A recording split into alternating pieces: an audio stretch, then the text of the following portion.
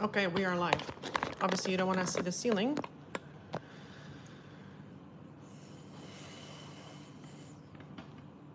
So we're gonna wait for people to show up because nobody knew about this live. I didn't even know about it. I have the computer in front of me, so we'll see if I can find this video so I can um, see what you guys are writing.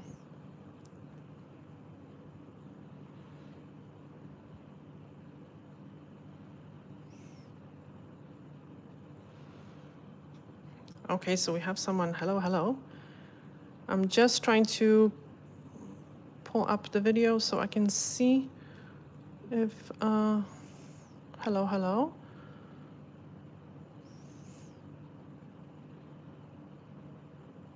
Oh, yes, so I'm doing my nails. I figured, you know, I'm going to do my nails. So I'm going to do, I'm going to show you in a second this, but I'm going to film this, so I'm sorry, but it, it's going to be probably on the channel in probably a day or day, probably. I'm gonna really work hard on compare. So,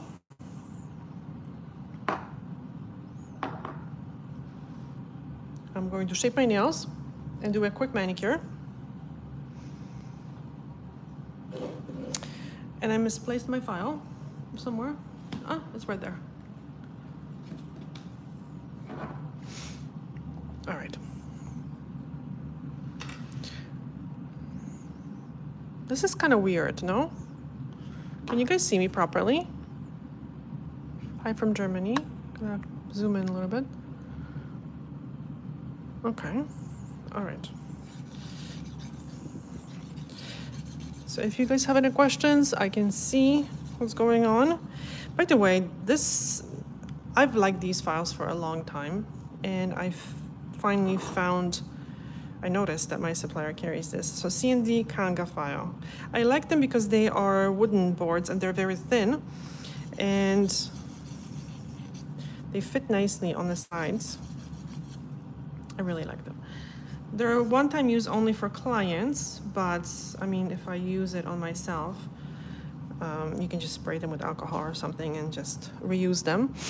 It's a little dark. Explain how to apply all types of nail polishes in salon at home. Explain how to apply all types of nail polishes.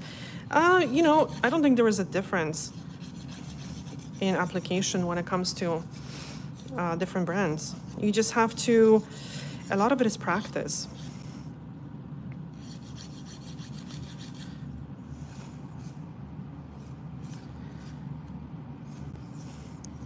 Hi from Australia.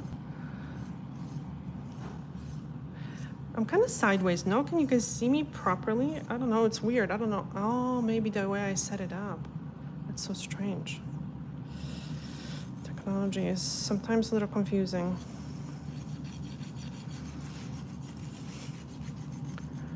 Yeah, I don't know how to change that that horizontal. I think it's one of the it's the setup. Yeah, just turn the phone, guys. Sorry. I don't know why. I think it's just the way I set it up. Because I really didn't set it up. I just... Um, normally I set it up for the like for the future ahead of time.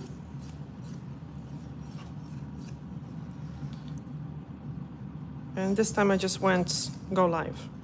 So by the way, we're gonna have the, the usual Q&A this evening.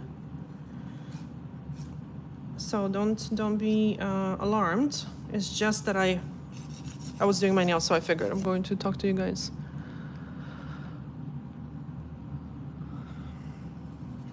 Yeah, if you have these little hard pieces, see what you can do. Hard little pieces, not dry.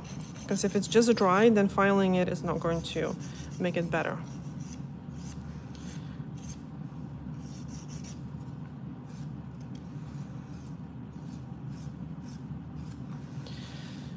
All right.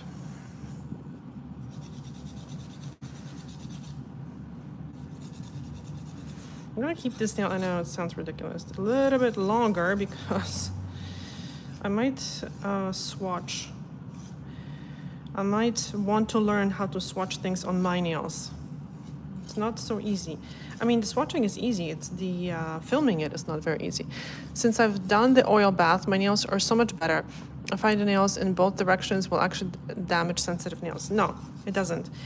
Uh, first of all, the nails cannot be sensitive. They can be damaged, but the nails are dead, so the nails are not sensitive. But sometimes they feel sensitive because they're so thin, damaged, that you basically you feel the nail bed underneath. So that's what's sensitive. Sensitive is the nail bed underneath. Filing in both direction um, or in one direction has been debunked a while ago. And when you look at how the nail is actually made, it doesn't make sense filing, having to file in one direction only. So the nail is made of, let me just see if I can, okay, here. So the first 30% of the nail is made up of these little, just random shape little things like this, okay? Oh, can you see? Oopsie yeah, the top, the top 30% of the nail. So there was no direction here. There are like, like this and like this. Okay, so this is the top 20%. The middle of the nail, the 50% in the middle, that middle layer, is made actually up of um, a surface that's laid this way, actually, not this way. People think that the nail is made this way, and then filing it this way opens up the nail somehow, but no. So this, the, the, the bottom, sorry, the middle portion of the nail is made of layers like a cake layers, okay, this way. So filing in both ways is perfectly fine. And the other 20% of the nail, the bottom part, is also made of these little like pancakes. So it doesn't really matter how you file the nail. What matters is the grit. So if you have a grit that's very uh, low grit, meaning let's say 100 is a low grit, 80 is even lower, um, then of course the end is going to be kind of sharp and uneven and not very nice. So that's why I usually recommend filing with like 180 grit or uh, 240. This is 240 grit. But if you have 100 grit, you know, and you've used it for a while, it's going to be actually a little softer, so you can use it as well. But then once you file the nails, what you can do is uh, do this. Just use a soft buffer block. And then because the soft buffer block is going to almost hug the nail, right? So in case file is going to be, hmm, how do I show you this? File is going to be like that edge of the nail more softer. So that's what you can do. And once you go like this, it's perfectly smooth. So again, I'm not buffing the top of the nail.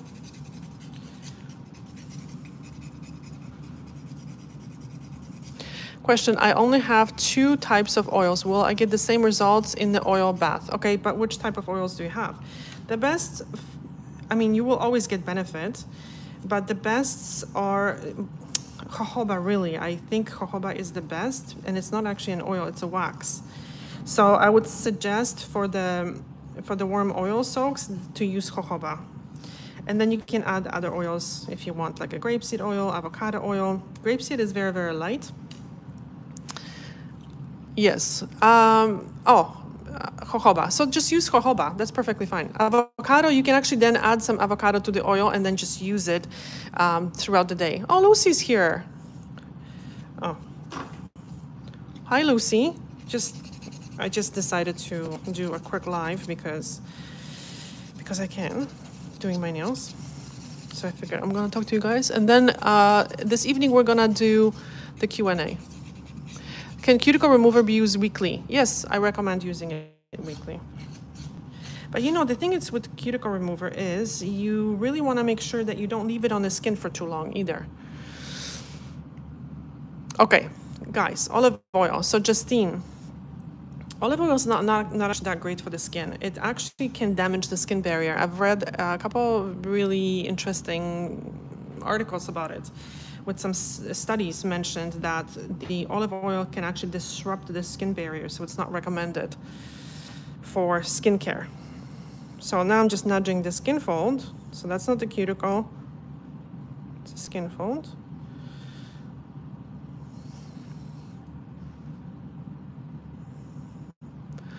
Yeah, so yeah, almond oil is very good.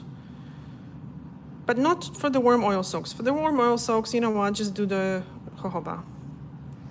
Because jojoba penetrates between the, the little cells and it plasticizes the nail, so the nail does not does not break. It has it can um, it can move without cracking. Oh, thank you so much, Celine. Best nail channel on YouTube, the expertise. Thank you so much. All right, so the cuticle removal. Let me just grab a Blue Cross. One second, I'll be right back.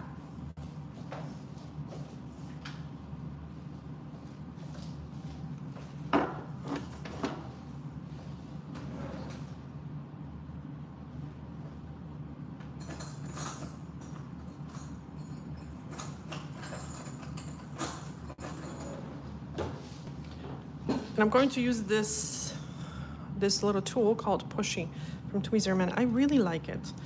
So these are my three favorite tools. I'm gonna make a video about it. This one and the glass one.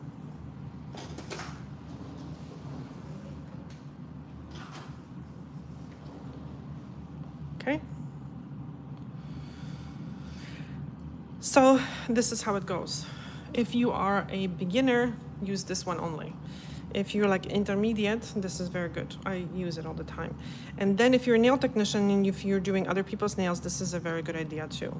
So, because this one is very precise, it's quite sharp, but it's not too sharp. The problem with these ones is you can actually see that they chip very, very easily. Can you see? Here. There's a little chip. So that's the problem with, with these. So uh, one drop. And as this is working, I'm gonna look at your questions, guys. So now we're gonna remove the cuticle. And the cuticle thing is so misunderstood. It's very, very sound. Okay. It's coconut oil a good option? Mm, it depends. Uh, it depends for what. It's good for the skin, yes, but to do the warm oil soak for the purpose of plasticizing the nail plate? Not really, apparently. And yeah, I don't know, coconut oil is, I wouldn't recommend it by itself especially. I know it's pretty famous, the coconut oil, but uh, I don't think so. Sunflower oil, yes. You could. I mean, sunflower, maybe it's a, it's a good replacement, but again, jojoba actually is not an oil, it's a wax. So I know it's a little bit um, confusing because I call it a warm oil soaks, but it's really a wax. So I should be calling it warm wax soaks, but that sounds a little weird. Oh, David is here. Hello. We will, by the way, do the, the usual Q&A later on, but I just, I was doing my nails, so I figured that I will do a quick live.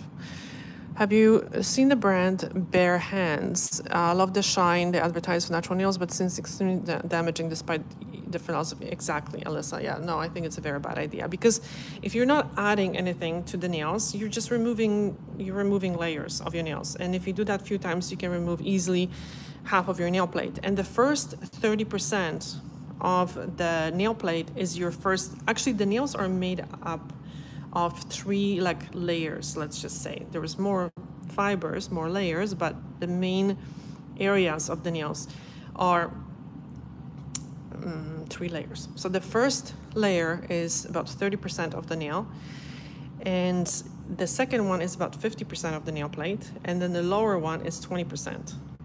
Those first two layers, now it's, it's, some people say that the first layer is much more um, dense, so it it helps protect the nail. Some say that middle layer also protects the nail as well, um, but nonetheless, you don't want to be removing these layers. And if you are adding shine to your nails by taking away layers, um, then you are yeah removing the the layers. and they cannot regrow really. I mean, it regrows this way, but it doesn't regrow from the bottom.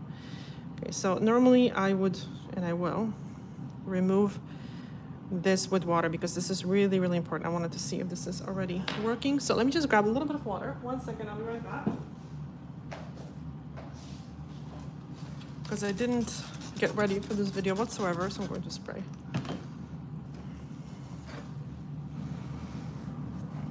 Because what you want to do is you want to moisturize, uh, moisturize, oh my god, you want to neutralize this product. So what happens is because there is, oops, I like sprayed my computer, guys. This is not good.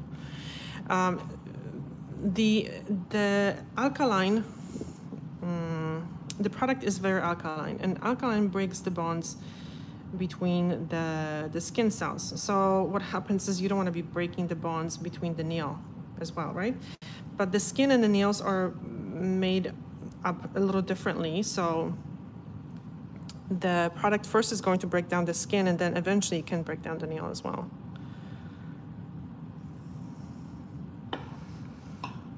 Okay. Yeah, so David is talking about the the that jojoba is a wax, which is correct.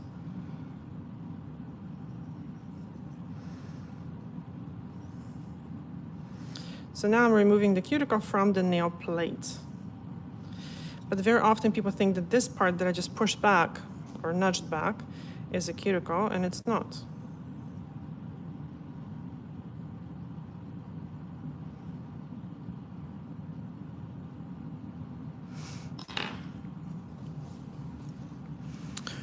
Does your channel have a video on how to do warm oil soak? Yes, it does. It does. And if you can just put in a search DIY, there is going to be a video called DIY treatment for brittle something nails.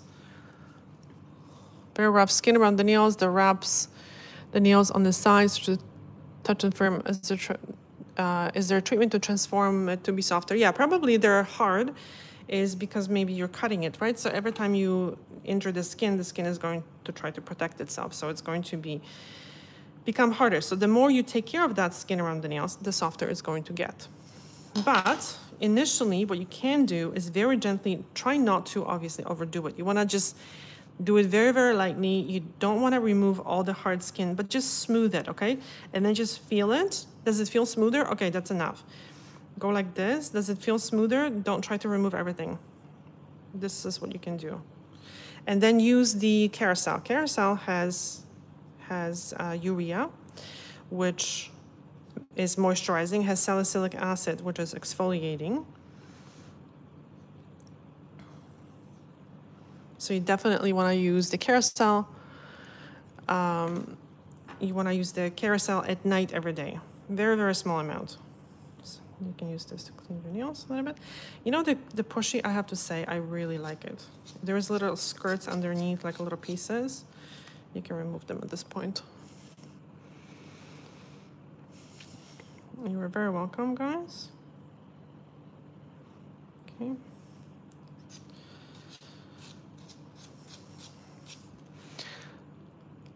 Can the oil after the oil soak be removed, uh, used several times? You know what? It's it's personal decision, right? I would, especially if it's jojoba. Jojoba is very heat stable.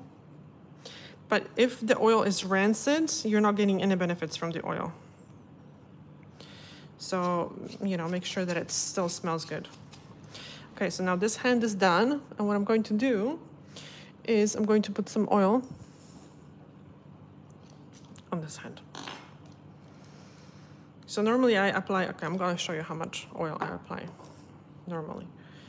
A little drop. And this is enough for two hands. Okay. But now, because I just used the cuticle remover, I just like to apply a little bit more and just rub it into the nail plate. Argan, I don't know, argan is so, like it's so popular because there was so much marketing behind it. It's not any better than sunflower oil. So no, I wouldn't say. best oils for cuticle oil. Okay, so uh, we're not doing, we're not really taking care of the cuticle because I just removed the cuticle, right? So the, the, the cuticle removal um, took care of the cuticle. So there was no more cuticle. I removed it. So what we are caring is we're caring for the skin around the nail, so the skin fold, but the whole skin around the nails and the nail. So it's a skin and nail oil. Can you guys even see me? I don't know, I'm a little fuzzy here, like I'm seeing the video. So the best oils are also depends on your skin. So for everyday use, I would say some mixture of jojoba, I would say like 50% of jojoba. So just a little drop. And now without pushing more product out, I'm gonna put here. So it depends on your skin. So for example, I don't really have dry skin. So I like very light oil. I like sunflower oil. I like safflower. I like grapeseed oil because uh, skin, oily skin or skin that's not dry um, is lacking sometimes different types of um, oils, right? So um, I like the light oils. But if your skin is dry, then maybe using something like the avocado avocado oil is a, a good idea. Even coconut oil, things like that. So you can um, you can definitely mix your own oils and see what works best for you. Do you know of any good quality company that I can buy jojoba from? I'm in Canada, so I can either order from Amazon or come from natural health food store. You know what? Just talk to the the, the health food stores or order from Amazon. I have links usually, but if you're in Canada, then you would have to order from um, the Amazon.ca, and I don't, I'm not sure if I have links to jojoba, but like the Bliss Kiss oil is expensive, but I go through it so slowly. Yeah, but for the warm oil soaks, I would say the Bliss Kiss, maybe it's not the best. Um, I would just use pure jojoba. Hi, Mercedes. Yeah, it's just like a quick, um, quick live because I was doing my nails and I figured I'm gonna talk to you guys and we're gonna do the proper live I mean the usual Q&A earlier um, oh my god later what's wrong with me today it's Monday or something. Okay so let's see if this is budging. By the way I'm not doing these nails because I did them yesterday haha. I didn't have any product. Okay so guys this is the cuticle. So now what happens is the uh, the cuticle remover is quite alkaline and what it does it breaks down the bonds between the skin cells so that the skin can lift. So it's very important not to try to put it here on on this skin because we're not trying to remove this skin. This is not a cuticle. This is skin around the nail. This is and this is a skin fold. And so this is the front skin fold so proximal nail fold and these are lateral nail folds. So this, these are the side folds and this is the front fold. So, and then the cuticle is actually coming from in between that fold and the nail. And it's made to be like a stuffing in between the fold and the nail. But once it comes through that fold, once it passes the fold, it's not really necessary to be there anymore. And if we are uh, wearing nail polish, when you put nail polish on these cells here, it's not going to stick properly. So it's coming off, so now I'm going to neutralize it because I don't want to leave it on for too long because I don't want the product to damage my nail underneath. Because I think if you leave it for too long, oh, sorry, you can actually uh, break the bonds between the uh, the nail cells as well. The nail is much more dense, so it's not going to be affected so quickly.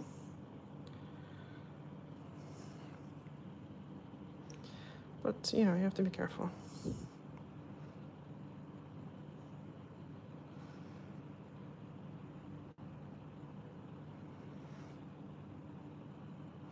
So why do I buff? because you see me buff sometimes. Well, I'm going to tell you because sometimes when the cuticle is removed, there is still like just the surface is not perfectly smooth.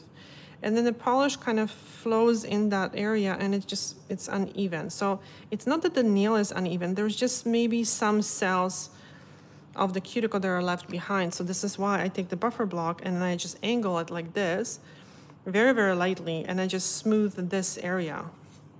See how lightly I'm doing this? Okay, so this one doesn't have any grit, so I'm going to show you. What some people do is they put pressure and they go like this over the nail. Well, that's going to definitely remove layers of the nail. So there is a big difference between applying like this much pressure. Okay, there's no grit here. This much pressure and this much pressure. So buffing and buffing, right? So you can do this like this.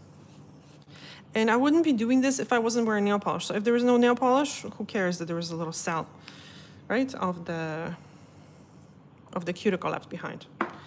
Okay, so you know what? Um, I'm going to do a video next, but I'm going to have to record it because the quality of this is really bad. I have clear nails, but on one nail there's a white mark and the nail is weak and flexible. What could be, uh, could this be and how do I fix it? Clear nails. Well, the nails are, yeah, they're semi-clear. They're kind of transparent. Um, but I don't know. It could be a white mark. It could be sometimes fungal infection. Who knows? Like the superficial, white superficial um, fungal infection. But it, without seeing a picture, I can't. I, I can't really um, see it. It could be something completely different because there are sometimes little white spots and they are due to a little bit of trauma sometimes underneath where the nail is forming. And so there's nothing to worry about. So it really depends. I don't know. Okay, guys, so my mother used Crisco vegetable oil on her cuticles back in the day. It's so funny now thinking of that, but it worked. Yeah, because, well, not on her cuticles. Again, it's, I, I, I know I'm such a pain to be correcting everyone, but I really, really want people to understand. And I know it's a, uh, you know, I even sometimes make that mistake because for the last, I don't know, 25 years, I call this a cuticle, right? Very vaguely, kind of. So for you are applying the Crisco oil on the skin around the nails and on the nails, but not on, not really on a cuticle because why would you want to care for your cuticle that you just now removed, right? Um, your nails are nice. Are you going to grow them a bit or keep them short? No, short. I do a lot of pedicures and, you know, foot massage and things like that. So I need my nails short. And then typing on the computer, I just do not like long nails. Okay.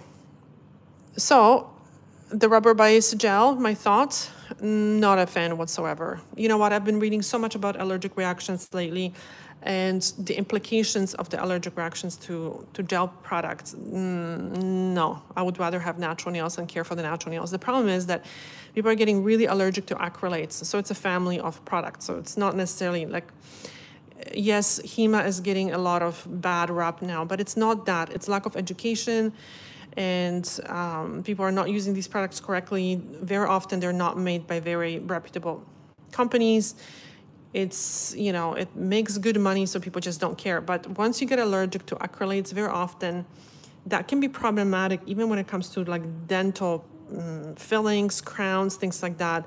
Even like the cement that's used in bone replacements or like sur- like when they do knee replacement surgeries.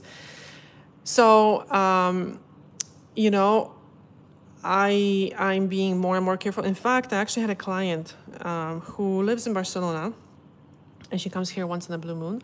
And she just messaged me uh, if I could do her nails. And I asked her if she has polish on her nails just remove it. Because I like to see if I don't know if I haven't seen someone in a long time I would like to see them without nail polish so I can see what's going on with your nails. Because sometimes we can discover like a fungal infection or bacterial infection on the nails. And if that happens then I can't be servicing them right? So anyway so she said oh she can't remove it because she has gel polish on her nails. And her words, not mine, but she's like, yeah, some cheap Chinese shellac knockoff or something. And I'm like, I kind of thought about it and I'm like, made up my mind. I'm like, I'm sorry, I, I, I'm not even removing these products anymore. After reading as much as I've been reading, uh, gloves are not helping. Very often our hands are sweating in gloves, which actually makes the skin more susceptible uh, to all these acrylates. And I, if, if I didn't apply the product, because I know how I apply it, I know how I cure it, I'm not removing it. And I know a lot of people do, and they think it's fine, but I don't. I don't want to risk it anymore. So you know, it's really, it's really, really getting bad. So Uh, I'm from Philippines. I'm working in a salon and I'm new. Do you have any advice me how to do manicures and pedicure without shaking my hand and not worried? Okay, it's just practice. It's just practice and also uh, holding your, bracing your finger, right? So if you're working on this hand like this, putting, keeping the tool closer because very often people hold it like this and they kind of think that, you know, and then your hand shakes. So put the pinky um, on the, actually when you're holding the client's hands, you're gonna be holding on, on your hand and then holding the tool closer and you're much closer. And then doing something on your regular basis, just do everybody's nails that you know. Your husband, your husband's family, everybody. So the more practice you have, the more confident you're gonna get and the more you need to, your hands are like they have to be exercised. Honestly, it's like playing piano because people say, oh, I can't reach like this. No, you totally can. It's just that you need practice. So you need to practice every day as much as you can in order to get confident. Uh, when do you recommend using the OPI nail repair? This one, I just used it at the beginning of the video so you can kind of go back. I, I really like the product. I have to say I, I like the product. I would use it once a week on bare nails. Or if your nails initially, you if you haven't used it, just use it for a week, twice a day and it repairs, apparently, it repairs the bonds between the keratin fibers. So it doesn't make more bonds because then it would be a hardener, but it repairs the broken bonds in the nail. So it's, it's pretty good. But of course, it's not going to, let's say, if your nails are overfiled, it's not going to regrow the nail. It's just going to repair the bonds in the area that you just have left behind. So not going to fix your nails, but it's going to help for sure. Okay, guys, if you have any more questions, uh, we have the Q&A this evening at 7 p.m. our time. So it's going to be 1 p.m. 1 p.m. Uh, like New York time. So if you could join us, that would be absolutely awesome. And I have to film this video. And um, and then I'll see you later, guys. Thank you so much. Bye.